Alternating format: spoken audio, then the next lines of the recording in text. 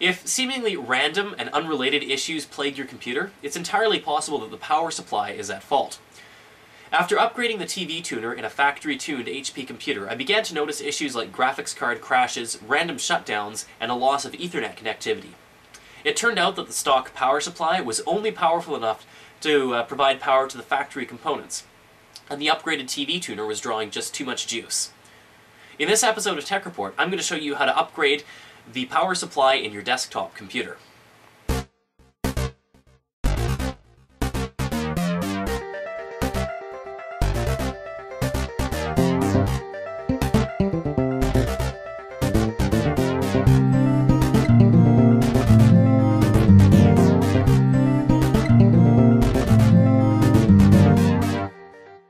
The first thing you'll want to do is make sure that the power supply you're planning on purchasing is in fact going to be an upgrade.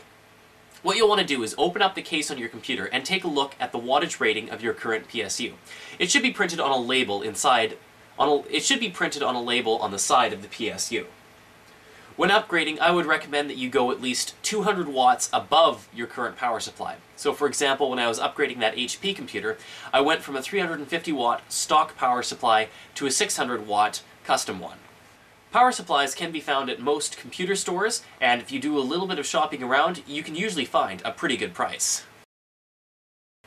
Doing the actual upgrade to your computer is actually a pretty straightforward process. After shutting down and disconnecting the power from your computer tower, open up the side panel on the case. Now, each case opens up a little bit differently. Usually there's two thumb screws at the back of the case, but if you're at all unsure, check the user manual that came with your computer case uh, to avoid damage.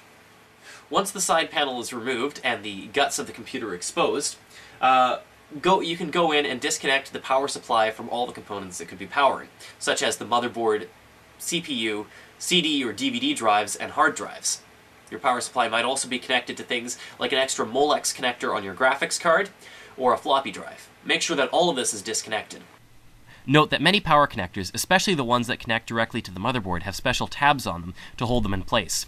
If the cable doesn't simply pull away, make sure you look for one of these tabs and pull it back to avoid damage to either the connector or the component it's powering.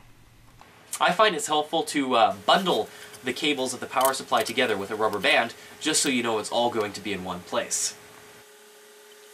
At this point, you can go ahead and remove the four screws at the back of the computer case, which hold the power supply in place. After this, the power, after these are removed, the power supply should simply lift out of the case. However, if it doesn't, make sure you look for any latches or levers that are holding the unit in place. Now it's a simple matter of unboxing the new power supply and inserting it into the old case, screw in the screws, and then just go through and reconnect all of your devices. It should be noted that the last four pins on the main motherboard connector can be removed on most power supplies. This is so that the uh, power supply can be compatible with just about any motherboard. Once everything is reconnected, you'll want to power up your computer, and I would recommend powering up your computer without completely reassembling the case and connecting all of your peripherals, as if there is a problem, it makes troubleshooting a lot easier if you've already got the case open. Once you've booted into your operating system, verify that all your hard drives and CD drives, anything that you disconnected from the power supply are functioning properly. Once that verification is done, you can shut down your computer again, put the case back together, and reconnect all of your peripherals. Pop the case back under your desk, and you're laughing. All things considered, a power supply upgrade is a fairly quick, straightforward, and painless process, especially if you're experienced with computers. When I first attempted the power supply upgrade on my HP computer, it was about one and a half, two years ago, and I was fairly inexperienced with computer hardware. The entire process took me about two hours. By doing these upgrades yourself, it's possible to save a lot of money in labor costs, and besides, doing your own computer upgrades is great for learning more about how your computer operates.